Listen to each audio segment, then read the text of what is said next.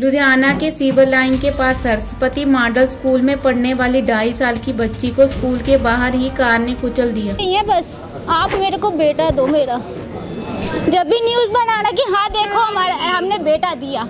ये न्यूज़ बना के क्या कर रहे हो? मेरा बेटा ला दो बस आईसीयू में से बस और कुछ नहीं चाहिए। ये न्यूज़ ही बना रहे हो आप। क्यों बना रहे स्कूल पे गार्ड नहीं था गेट पे। छुट्टी होने के बाद बच्चा बाहर भाग गया किसकी जिम्मेवारी है? पैसों से मतलब है केवल स्कूल वालों को।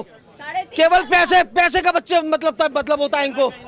कहीं नहीं कहीं गार्ड नहीं था।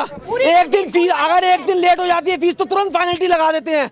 बच्चे की ज़िंदगी का सवाल है बच्चा तो चला गया। अब कौन देगा बच्चा मेरा? विदित। विदित श्रीवास्तव। फ़ोटो दिखा सकते हैं क्या बच्चे की? छोटे कौन सी क्लास में था? एक मिनट प्ले ग्रुप में था जब तुम्हारे बच्चों के साथ ऐसा होगा जब पता चलेगा तुम्हें मेरा एक बच्चा मुझे बच्चा चाहिए। मुझे बच्चा चाहिए। स्कूल चलाने का शौक है लेकिन कोई सिक्योरिटी का शौक नहीं रखने का पैसे लेने का शौक है तुम्हें। पैसे लेने का शौक है और कुछ का शौक नहीं है।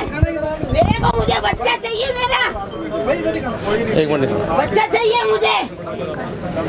मुझे बच्चा चाहिए मेरा। मेरे उसी बच्चे में हम चार चार बंदे हैं।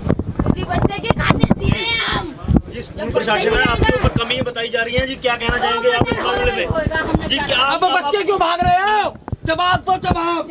अभी तो यहाँ पे हैं, गिरेंगी यहाँ पे। सिक्योरिटी थी गेट पे ही था वो गेट में और ये तो बच्चे की लेके आया बताया जा रहा है जो। वहाँ पे चश्मे थे उनका मानना था कि ऑटो वाला गलत खड़ा हुआ था। नहीं वो लेके आया लाइन में बच्चों को बाहर। शांत क्यों जाए? बच्चों को लेके आया वो लाइन। में है है है हैं? हम इतनी देर से मैंने कुछ नहीं कहा।